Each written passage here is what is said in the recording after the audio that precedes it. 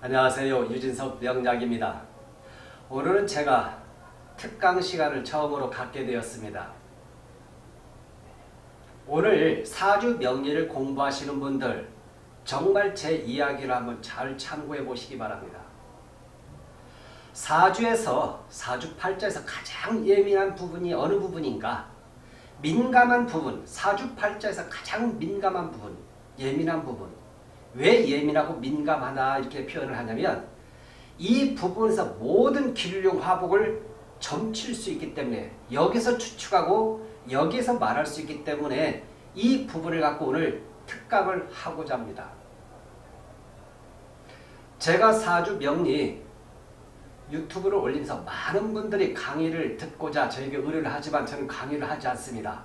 아마 지금 천명 이상이 천명 이상이 넘습니다. 대기 상태가. 강의를 받고자 하는 사람이. 근데 지금은 천명이 훨씬 넘었는데 제가 숫자를 세지 않고 있습니다.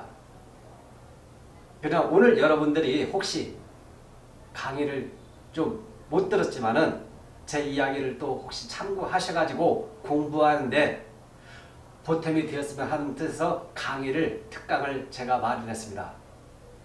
참고 한번 해보시기 바랍니다. 사주팔자에서 가장 예민하고 민감한 부분이 어느 부분이냐? 자, 사주팔자가 있습니다. 여덟 글자가 있습니다. 많은 사람들의 사주에 입문해서 공부를 하고 있습니다. 그런데 전부 다 일정한 부분 재밌게 공부하다 다 뒤로 자빠집니다. 왜 자빠지느냐? 어려우니까. 어떻게 해석을 할 수가 없으니까. 사주 이 여덟 글자는 다 이해를 합니다. 공부하면. 그런데 문제는 뭐냐? 사주에서 만약에 대원이 이제 들어온다 이 말이에요. 대원이 예를 들면 만약에 예를 병신 대원이다. 병신 대원이다. 사주 원국 여덟 글자가 있는 병신 대운이 들면 자 이 부분을 이렇게 넣고 나름대로 이게 분석을 합니다. 대운이 이렇게 들어오는데 만약에 대운에서 병신 대운인데 세운에서 마저도 만약에 병신이 들어온다면 어떻게 해석을 해야 하느냐? 병신. 대운이 병신이고 세운에서도 같은 병신 똑같이 나란히 이렇게 병립돼 있을 때 같은 이게 들어올 때 이것을 어떻게 해석을 해야 하느냐 이런 경우 여기서부터 머리가 쥐납니다. 아니 해석할 줄 모릅니다. 이것을 병신 병신 이렇게 들어오는 천감과 지지가 똑같이 들어오는 것을 용어로 뭐라고 하냐면 이것을 호라 그럽니다. 호자. 좋은 호자를 씁니다. 좋은 호자. 이 호라고도 하기도 하고 기자라고도 합니다. 기자. 싫어할 기자. 반대라는 거죠. 좋아하고 싫어한다. 이렇게 만약에 대운과 세운이 똑같이 겹칠 때 그 한 해 병신년에 아주 좋든지 아니 착살납니다. 왜 그러냐? 왜 그러느냐? 사주 원국을 이 여덟 글자를 지배하는 것이 10년간 지배하는 것이 대운입니다. 이 10년간 얘를 자기가 마음껏 이 대운이 자기가 이를 새를 넣고 활용한다는 거죠. 근데 제가 늘 강조했죠. 이것을 사주 여덟 글자를 밭으로 봐라. 밭 해석할 때. 그러면 이 대운을 뭐냐? 10년 대운을 뭐라고 하냐면 날씨로 보라 그랬습니다. 날씨. 10년에 어떤 날씨가 주어진가? 가을 날씨인가? 겨울 날씨인가? 여름인가? 봄 날씨인가를 봐주라 그랬습니다. 자, 그런데 이렇게 병신이 똑같이 세운마저도 똑같이 들어왔을 때 이걸 다시 이야기하면 이것은 대원에서 10년을 지배하고 있는데 그 해에 한 해 농사의 결과를 발표해주고 수확에 대한 그 모든 부분에 결론이 나온 게 이 세운인데 같이 겹쳤을 때 호라는 것은 뭐냐면 이렇게 만약에 이 대운이 사주의 원고 좋게 들어오고 세운마저 들어오고 좋게 들어오면 대박! 근데 만에 하나 대운이 안 좋고 세운마저도 안 좋으면 쪽박 이렇게 나오겠죠. 자 그러면 이 사주 원국에서 얘가 이렇게 병신 병신이 있을 때 저는 사주에서 얘가 십성이 뭔지 모릅니다. 인성인지 재성인지 관성인지 모릅니다. 딱 그만 이것만 봐도 일단 어떤 상태 흐름이 진행되고 있는가를 볼 수 있다는 것이죠. 이럴 때 이때 여기서 들어가는 것이 바로 십성이 들어갑니다. 만약에 여기서 간목이다 했을 때 간목이라 했을 때얘 사주에서는 식신에 해당이 되겠죠. 그러면 식신에 해당이 되는 것이 이 사주에서 치고 나가고 어떤 일을 추진하는 것이 어떻냐를 볼 수 있겠죠. 결과가 어떻냐를 이미 이 한 글자만 주어도 어떤 상태인가를 볼 수 이 옆에 다른 인자가 뭔지 몰라도 일간 감목만 줘도 벌써 이 상태는 이 사람이 이 대운의 이 해에 어떨 것인가를 벌써 유추가 될 수 있다는 것입니다. 제가 이야기하는 것은 뭐냐? 평생 십성을 가지고 정인이 어떻다, 편인이 어떻다, 정관이 어떻다, 편관이 들어왔다 이렇게 하시는 분인데 그렇게 천년만년 해도 안 된다는 걸 이야기해 줍니다. 그렇게 해서 시나리오를 쓰고 글을 쓰고 소설을 써서 이야기하는데 해당 사항이 없어. 저 이거 모릅니다. 이 사주가 여기서 이게 만약에 뭔지도 모르고 이것만 봐도 벌써 알 수 있다는 걸 이야기해 주겠죠. 그러나 이때 만약에 들어갈 때 이것이 먼저 해석이 된다면 대운과 세운이 해석이 된다면 이때 집어넣고 이때 그때 십석을 보자 이걸 이야기해 주죠. 왜 그러냐? 대운을 아니 사주 원국을 얘가 대운이 먼저 좌주지 다 해놓고 얘가 여기를 전체를 다 관할하고 전체 좌주지 해놓은 상태 세운에서 발서 서영에서 마지막 마무리를 하기 때문에 얘네들 얘의 글자에 의해서 얘 여덟 글자가 왔다리 갔다리 생노병 아니 생왕묘가 다 여기서 이루어지고 있다는 걸 얘기죠. 얘가 괜찮냐 왕해지냐 아니면 죽느냐 볼 수 있다는 걸 이야기해 주는 겁니다. 이렇게 예민하고 중요한 부분, 이 부분이 중요하기 때문에 여기에 대한 해석을 할 줄 모르니까 명리 공부한 사람들이 1년, 2년 처음에는 재밌다가 다 관둡니다. 그리고 정말 공부하고 싶은데 모르니까. 자, 그러면 이거 하나를 보자. 그럼 이렇게도 나와 있고 다시 이런 유형으로 보자. 사주 여덟 글자가 있다. 만약에 예를 들면 간목이 있다. 예를 들면 갑이 있다. 갑이 있는데 경이 있습니다. 경이. 대운에서는 이렇게 나왔어요. 갑오 이렇게 나와 있습니다. 갑오. 여기서는 경인 이렇게 나와 있습니다. 경인. 세운에서 갑오 대운에 경인이 들어왔어요. 저는 이 사주에서 얘가 정인인지 편인지 모릅니다. 아무도 몰라요. 근데 대운하고 세운만 보니까 대운이 갑오, 세운이 경인 이렇게 들어왔어요. 대운이 이렇게 돌았을 때 이것만 놓고 보면 뭐가 있냐? 어, 천간은 합을 했네. 충을 했네. 여기는 이로 합을 했네. 이렇게 보겠지.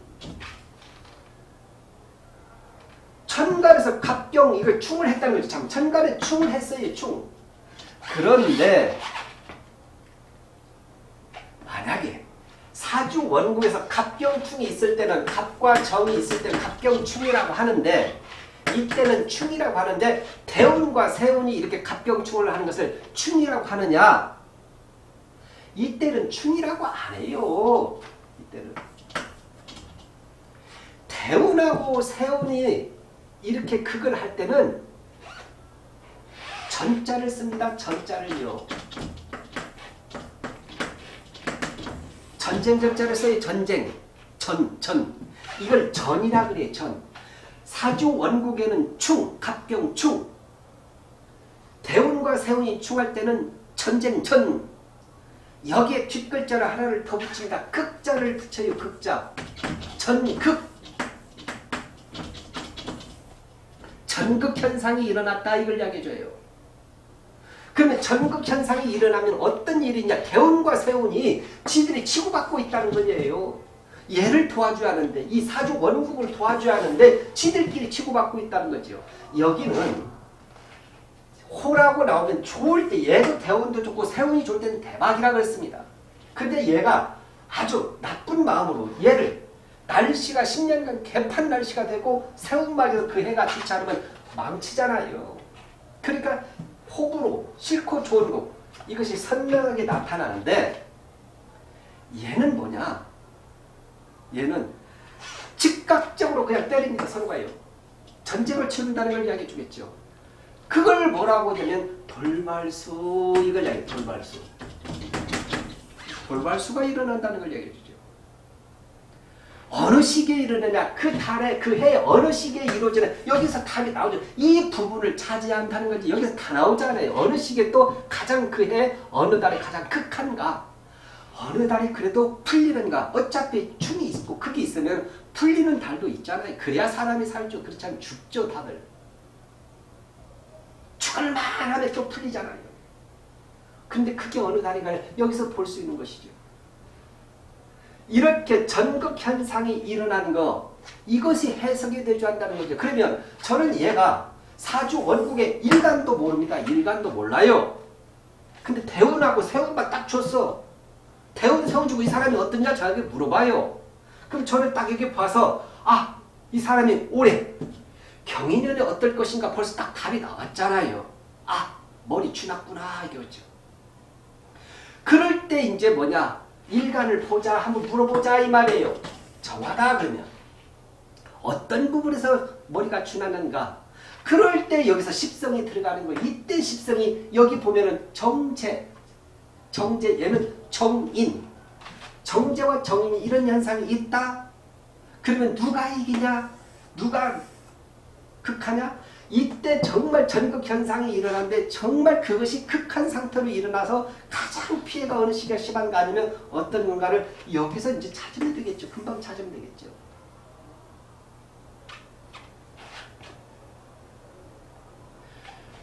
사주 명리를 공부하는 사람이 이것을 모르니까 다 일정한 부분 공부하다가 다 뒤로 자빠져. 이게 어렵거든요. 이걸 누가 해주는 사람도 없고 대원이 들어오고 세운이 들어왔는데 이것이 어떻게 해석할지 모르니까 합도 똑같습니다. 합에 관계된 것도 해석이. 어느 달 어느 시기에. 이것을 뭐라고 해요? 전극이라 그럽니다. 전극. 이런 걸 아셔야 합니다. 그런데 여기서 풀리는 시기를 뭐라고 하냐. 이 안에 들어가서 풀리는 달. 이것을 화해라고 그럽니다. 화해. 화해가 된다 이 말이에요. 해. 화해라고 그래요. 화해. 어째 시기에 화기, 화해가 되느냐. 풀리는 달. 아니 풀리는 이 해에 풀리는 달. 그러면 이걸 뭐 이걸 또 보자. 만약에 되면 갑이 있다. 갑. 갑자가 있다. 대운이 갑자다. 만약에 기사가 했을 때. 이게 대운, 세운. 이렇게 천간에서 대운과 세운이 합을 했네? 갑기 합을 했네? 합. 천간에 있으면 갑기 합을 했으면 합이다 그러겠죠? 갑이 갑기 합이라고 그랬죠. 합. 그러면 대운에서는 뭐라고 그러냐? 아니 여기 대운과 세운이 합하는 걸 이것도 합이라고 그러냐? 용어가 아니다. 이때는 합이라고 하지 않고 여기는 화해지만 이것이 바로 화를 이야기해 준다. 화 자체를. 화. 천간과 지지가 대운과 세운이 천간이 합할 때 화. 그럼 뭐가 중요하냐 이거. 여기서 중요한 것은 대운이 여기서 있는 사주 원국에서 있는 것은 사주 원국에서는 지지에 의해서 기토, 토로 가느냐 아니면 안 가느냐 묶이냐를 보는 건데 이것은 대운과 세운은 밑에 지지를 보질 않아요. 지들끼리 막 그냥 치고받고 하는 급한 놈들이라 얘네들은 전체 옆에 있기 때문에 눈치도 보면서 이렇게 나오는데 얘는 단순한 애들이에요. 그러니까 그냥 무조건 합하면 합이 끝나버리면 밑에 지지에 상관없이 그 뭐만 보면 그냥 이 각기 합이 무토로 합을 하냐 기토로 합냐 양이냐 음이냐 이것만 해석하면 된다는 거죠. 이것이 각기 합인데 기토냐 각기 합인데 무토냐 이것만 해석해서 일간으로 집어넣으면 사주 원곡으로 집어넣으면 해석이 되면 끝이다 이걸 이야기해 주겠죠. 다시 이야기합니다. 사주 명리를 다 처음에 재밌게 공부하는데 이런 부분에 대해서 이것을 모르고 천년만년 정제편제를 이야기하니까 제가 조금 전에 했지만 저 이게 모릅니다. 이게 정제인지 편제인지 모릅니다.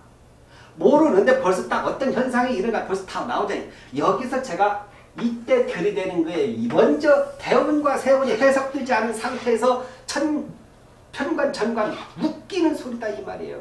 이것이 해석이 되고 그 다음에 생극제와 생극제와 생왕묘 생왕묘만 해석할 쪽은 생했다 왕했구나 이게 묘구에 들어갔구나 이것만 해석하면 끝이다 이 말이 얘를 이 안에 집어넣으면 다 보인다는 걸 이야기해줘요. 어느 시기에 괜찮다.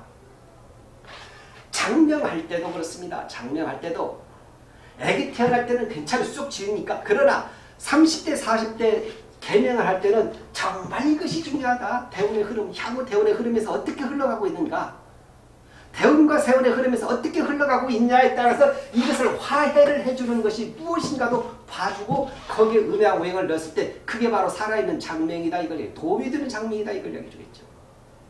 그렇지 않고 획수로 하는 것은 획수는 장명이 아닙니다. 획수를 장명하는 것은 그것은 장명이라 장난이다 이렇게 설명하겠습니다. 장난 이름 갖고 장난치면 안 된다. 벌 받는다 이렇게 이야기했습니다. 자 이렇듯 이런 부분에 대한 것이 해석이 되지 않나 이야기겠죠. 제가 이야기하는 것은 오늘 제가 특강을 한 것은 뭐냐 명리 공부하시는 분들이 정말 열심히 공부하고 싶은데 어렵습니다. 어떤 부분이 어렵냐 이것을 못 푸니까 어려운 거예요. 정말 어떤 상황이 주어져도 대운과 세운의 어떤 상황이 주어져도 올해 개면이다. 개면년 어떤 것이 들어왔다. 무인, 무인대운에서 개묘가 들어왔다. 갑자에다가 병신이 들어왔다. 어떤 걸 집어넣고 해도 이 벌써 이 관계가 다 해석이 되기 때문에 이것이 해석이 되기 때문에 이미 대운과 세운의 해석이 되기 때문에 이 안에 집어넣으면 금방 해결이 된다는 걸 이야기해 주죠. 보인다는 걸 이야기해 주겠죠. 왜 대운과 세운이 해석할 줄 아느냐? 얘네들이 사주 여덟 글자를 다 집에 아무리 사주 팔자가 안 좋아도 대운이 잘 들으면 괜찮고 세운이 잘 들으면 잘 풀려요. 사주 팔자 아무리 좋아도 대운이 깨질 때 있고 세운에서 안 좋게 되면 그 친년 작살나고 깨진다 이 말이에요. 그 말은 다시 이야기하면 얘가 중요하다. 얘들이 민감하고 예민한 놈들이다. 여기에서 정말 얘네들을 잘 다뤄야 한다. 예민하고 민감한 놈들 살살살살 끄집어내가지고 도움이 되는 것 같으니까 찾아내서 집어넣기만 하면 된다. 이걸 이야기해 주는 것이죠. 그래서 제가 계속 사주 명리 공부하고 도중에 포기하는 사람들이 늘 정제, 편제, 십성에만 휩싸여서 그걸 하고 하니까 머리가 쥐나고 결국은 답이 없으니까 명리 공부하다가 말아버리고 이걸 모르니까 이런 거에 해석이 모르니까 덕담하고 말장난하고 오히려 명리한 사람이 무속인보다 더 시원치가 않다. 뭔 소리 하는지 모른다. 저한테 상담 온 사람이 그래요. 사주 푸는 사람들 도대체 무슨 소리 하는지 모르겠다. 무당집 가보면 그도 그는 선명히 뭐라고 막 말을 하는데 무슨 말을 하는지 모르겠다. 무슨 용어를 쓰면서 하는데 귀신 신나라 까먹는 소리 한다. 그 말이 저는 무슨 말인지 이해가 됩니다. 그러니까 시원치가 않겠죠. 시원치가 않고 말을 둘러대니까 상담 받는 사람도 답답한 것이죠. 답답한 거. 오늘 특강은 사주에서 대운과 세운에 대한 부분이 다 누리 있어요. 누리. 이런 부분이 해석이 돼주면 그 다음에는 아무것도 아니다. 이걸 이야기해 주겠죠. 여기에서 어떤 아이가 어떤 상태로 지금 어떤 게 깨지고 있는가 이 깨지고 있는 것이 사주 원국에서 무엇인가 십성에서 무엇인가 그리고 얘가 아군인가 적군인가만 구별할 줄 알면 이미 그것은 끝났다는 걸 이야기해 주겠죠. 여러분 한번 이 부분을 잘 참고해서 공부해 보시기 바랍니다.